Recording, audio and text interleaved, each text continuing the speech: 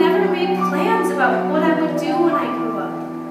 And I'm not afraid to die. The hardest part, Jo, is leaving you. I won't let it happen. You'll get better. You will.